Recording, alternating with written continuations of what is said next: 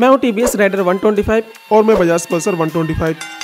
मैं आता हूँ 124.8 सीसी इंजन के साथ जो कि 11.38 पॉइंट का पावर और 11.2 एम का टॉर्जन करता हूँ मैं आता हूँ 124.4 सीसी इंजन के साथ जो कि 11.8 पॉइंट का पावर और 10.8 एम का टॉर्जन करता हूँ एक पॉइंट पल्सर वन को मैं आता हूँ एलईडी हेडलैम e के साथ मैं आता हूँ हेलोजन हेडलैम के साथ एक पॉइंट राइडर वन को मैं आता हूँ फाइव इंच टी डिस्प्ले के साथ जिसमें दिया गया स्मार्टफोन कनेक्टिविटी और मैं आता हूँ सेमी डिजिटल मीटर के साथ कोई भी कनेक्टेड फीचर नहीं दिया गया एक पॉइंट राइडर को मैं देता हूँ सिक्सटी से लेकर सिक्सटी फाइव के एमपीएल माइलेज और मैं देता हूँ सिक्सटी के एमपीएल माइलेज एक पॉइंट राइडर को मेरी टॉप स्पीड 112 एमपीएस तक है और मेरी टॉप स्पीड 115 एमपीएस तक है एक पॉइंट पल्सर 125 को मेरे एक प्राइस तिरानवे हजार सात सौ उन्नीस रूपए ऐसी स्टार्ट होती है और मेरी एक प्राइस नवासी हजार दो सौ चौवन रूपए ऐसी स्टार्ट होती है तो एक point Pulsar one twenty five को इन दोनों में से आपको कौन सी ज्यादा बेहतर लगती है मैं या फिर मैं ऐसे इन्फॉर्मेटिव वीडियो के लिए फॉलो कर लीजिए